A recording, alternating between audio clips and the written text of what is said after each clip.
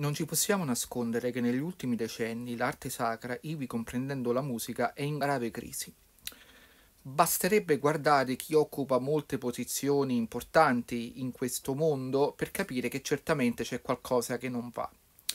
Mi è ben chiaro che si è persa l'importanza e la funzione che ha l'arte e la musica nella nostra vita di fede.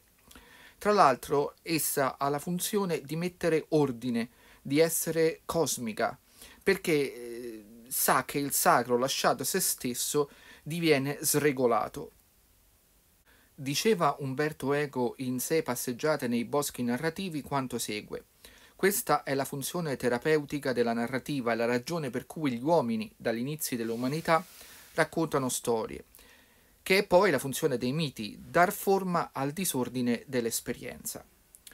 Se quello che dice Eco è vero per l'arte in senso generale, tanto più è vero per quell'arte che si confronta con l'indicibile, che per toccare un lembo del suo mantello deve spesso inoltrarsi per la valle oscura.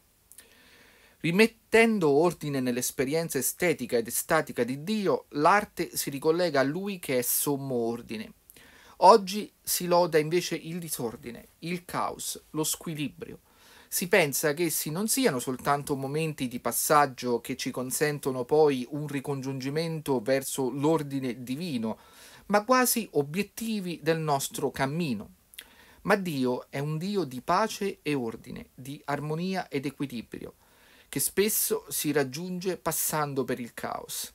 Ecco l'importante funzione dell'arte sacra e della musica sacra, Ecco quindi perché esse dovrebbero essere vera musica e vera arte.